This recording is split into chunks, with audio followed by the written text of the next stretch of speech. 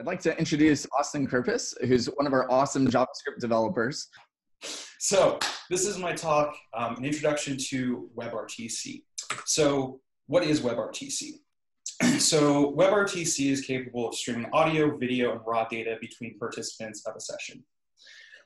Um, you probably guessed by now that uh, RTC is short for real-time communications. So WebRTC is, is real-time. Of course, communication facilitated, facilitated by WebRTC is not truly real-time, um, but it's very low latency, almost instantaneous. Uh, in fact, WebRTC is faster than WebSockets. Um, for those of you who don't know much about WebRTC, you may be kind of wondering how that's possible. Um, so that kind of brings us to the next part. Um, WebRTC is fundamentally peer-to-peer, uh, meaning communications between two participants is direct and does not involve a server. Um, so you may also be wondering how that's possible. Um, when I say no servers involved, I mean strictly speaking for the actual communication aspect. Um, you do need a server to establish the connection or to assist in establishing that initial connection. Essentially, clients just need to know who they're talking to on the other side and how to reach them through various layers of network address translation and you know, potentially firewalls and other, other network conditions.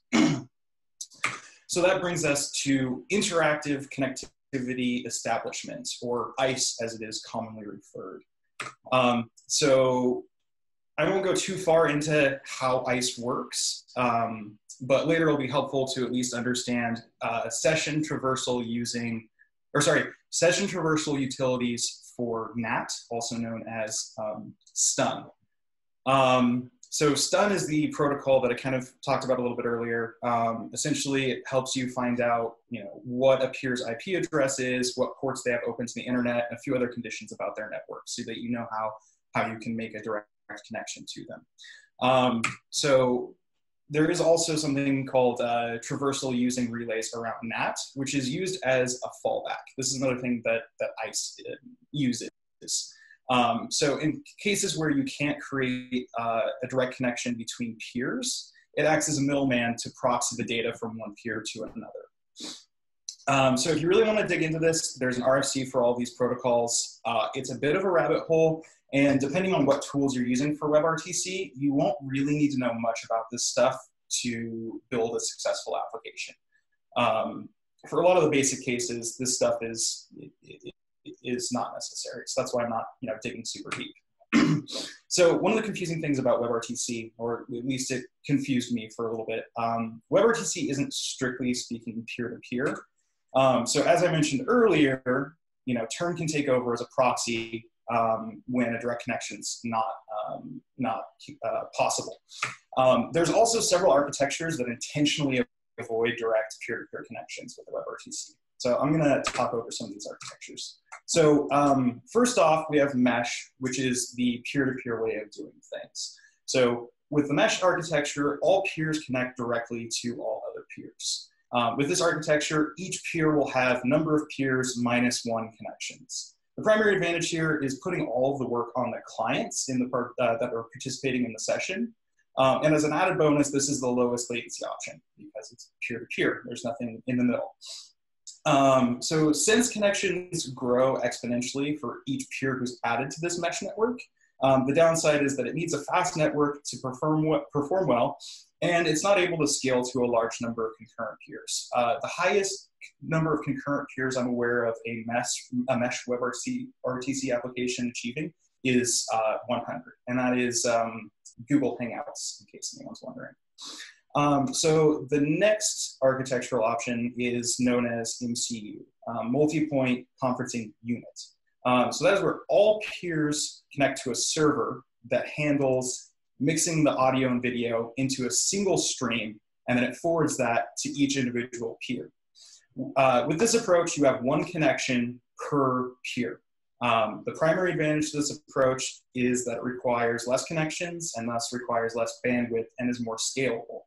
So for apps where you have more than 100 participants, or maybe you want to record sessions, this is a very common pattern to use. Um, there's a conferencing app called BlueJeans that uses this approach. Um, you can look into that if you're if you're curious about you know what the user experience is and everything. Um, so the final architecture, um, the final common one anyway, is uh, called SFU or Selective Forwarding Unit. This is where all peers connect to a server that proxies each string separately to all other peers. With this architecture, each peer will have the same number of connections as there are peers in the session. The primary advantage to this approach is that sessions can easily be recorded by the SFU, but the client still has separate streams to control and display independently. Um, the downside to this approach is that it requires the highest number of connections and thus the most bandwidth, so it's not as scalable. Um, there's a, really popular open source SFU called Janus Gateway um, that I think until recently Slack was using. I know at some point they used them. Um, but yeah, Janus open source project. Uh, recommend checking it out. It's definitely worth taking a look. Um, so Mesh is sort of the standard out of the box way of using WebRTC. Um, and the MCU and SFU approaches require implementing an intermediate on the server to you know, actually handle um, the, the proxying of media and everything, which is a separate thing from Turn. Um, again, that's you know, Turn isn't something you really need to, to dig into quite yet. Um, so to recap, if your app needs to record sessions, then SFU and MCU are probably what you want. If you need to scale to a really large number of users um, or have decent performance on really slow networks, MCU is going to be your best bet. Um, if you need the lowest possible latency and network speed isn't a hindrance, mesh, is what you want. Um, so what can I do with WebRTC? Um, the answer is a whole lot of things. Uh, some of the more notable examples are building a video conferencing application. Um, as I mentioned before, Google Hangouts is a really good example of this kind of thing. Um, we also have a client actually for uh, Bitovi has a client um, that is using WebRTC to build uh, audio and video conferencing applications for surgeons to use um, to collaborate and teach in real time while operating on live patients. It's a really cool thing um, that you know was sort of made possible by by WebRTC or made accessible rather, because the only other solution like this involves spending hundreds of thousands of dollars on hardware. Um, you know, and we helped this client build it into a web browser, so it's extremely powerful. Um, you can also build a soft phone. Uh, Twilio offers a server or a service, sorry, that uses WebRTC to connect users' browsers to a, public switch telephone network or PSTN. So that allows them to dial out and receive calls from inside their browser. Companies like Five9 and Zendesk are leveraging this to modernize call centers. It's really cool stuff. So finally, um, you can also build a torrent client that runs in your web browser. Because remember, you can send raw data and binary through a WebRTC connection. Um, so there's a really cool library out there called WebTorrent. Um, highly recommend checking it out. If you're interested in doing this sort of thing, it'll take care of all the heavy lifting for you. Um, and they have a really neat demo on their homepage as well. Um, so I've named uh, a few really neat ways you can use WebRTC. Um, I'm sure you can already imagine there's a whole lot more you can do with it. Um, so let's go into a demo here real quick. so um, I put together this little demo. I based it off of one of the um, uh, one of the pre-existing demos out there on the web. Um, so for the, the purposes of simplicity, this is a one-way video call and both peers are happening in the same browser window. Um, this is not a limitation of, of WebRTC, this is just the easiest way of demoing it. So I'm gonna hit start and you'll see that two videos of me appear. So this one to the left is actually the local peer. So this is basically taking it straight out of my webcam, spitting it out on the page. The one on the right is actually sending the video over a peer connection to a second peer and then displaying it. And it's probably gonna be hard to see on Zoom, but you can see there's a little bit of latency between them, and the right one is also slightly lower resolution. That's because it's actually being streamed through WebRTC. Um, probably not super noticeable over Zoom, but when you play around with it locally, you can see it. Um, it's very subtle. Um, so I'm gonna go ahead and jump back into the presentation real quick, and then we'll talk um, about how I do WebRTC or how you can do WebRTC. Um, so you might be wondering, do I need tools or frameworks? Um, you actually don't need much for the basics. Um, so let's run through what you need for a really basic setup, um, the simple one-way video call that I just demoed. So you need a stun server. Um, the cool thing about this is you can use a free public one. Um, Google, Firefox, all the big players in the web have their own free public stun server that you can use for non-commercial use. Um, the next thing you need is a modern web browser. Um, newer versions of Chrome, Firefox, and even Safari. There are some, some uh, caveats to using Safari for WebRTC. You can look those up. There's lots of Stack Overflow posts about it, um, but it's, it's coming along. So um, it's pretty widely supported at this point. Um, next thing you need is a moderate understanding of JavaScript. Um, nothing crazy. If you can call functions and assign variables and uh, await promises, then you're going to be good um, so with that said, let's go ahead and take a look at some code now. Um, so this is the code that I um, that I wrote to to make that demo that we just saw work. Um, so the first uh, first thing to note here is um, navigator.mediadevices.getUserMedia. Um, so all of these APIs um, are native to the browser. There's no libraries included for this. Um, so this, this get user media thing is um, a somewhat new API. It's a few years old, somewhere around the age of WebRTC. Um, and essentially it allows you to uh, query for media devices on the machine. So in this case, I'm saying um, get user media. I don't need audio. I need video. Um, that's why it says audio false, video true. Um, you can you can pass this a lot of more advanced parameters. You can even specify like the resolution of the video you want. Um, but for the basic setup, you know, just tell it need audio, need video. And what that will do is it will asynchronously return a uh, media stream. Um, the media stream is a representation of that user media. So in this case, my webcam feed, right? Um, so we take that media stream and we um, set it to the source object property of local video. Local video is just a pointer to a video element. So on our page, it was the left side, um, said it was called local video and, and had PC1 in parentheses, right? So at this point, we're displaying the local preview for our WebRTC setup, right? So next, we go over here and we create a couple of peer connections.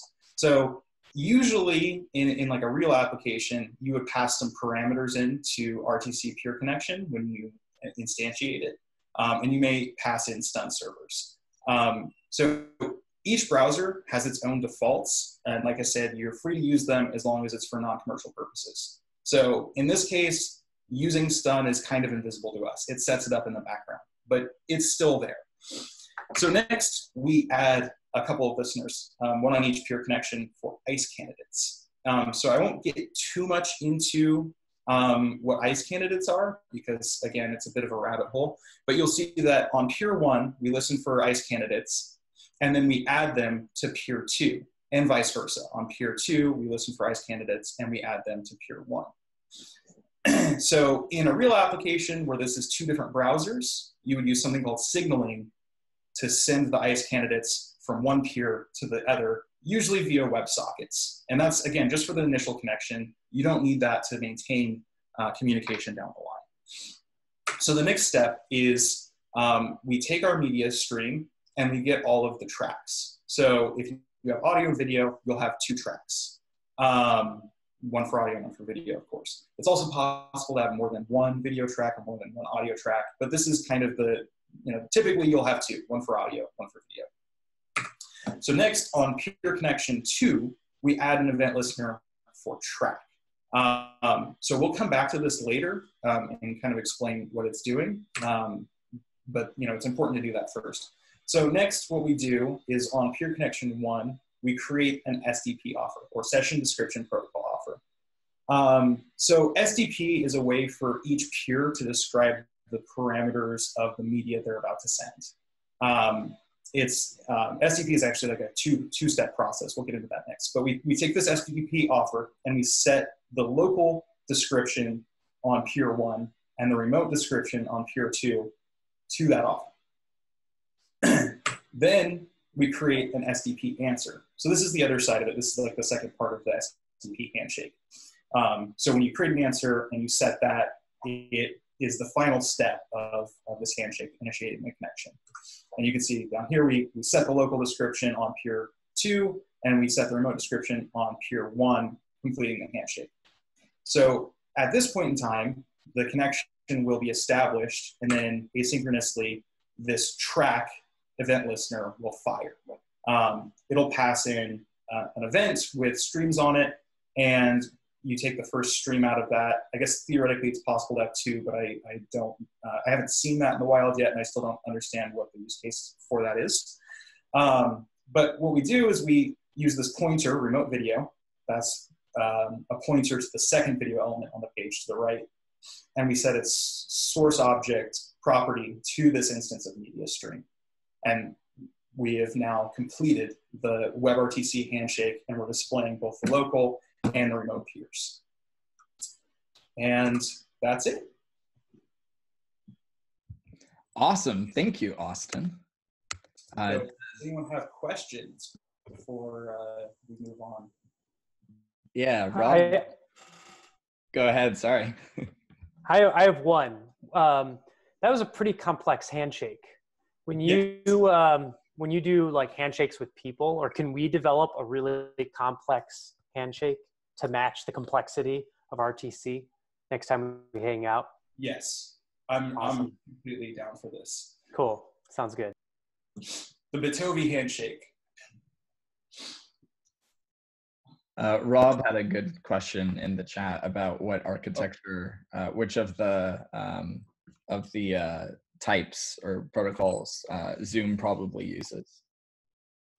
Uh, I believe Zoom uses the SFU approach. Um, That's the one with the proxy.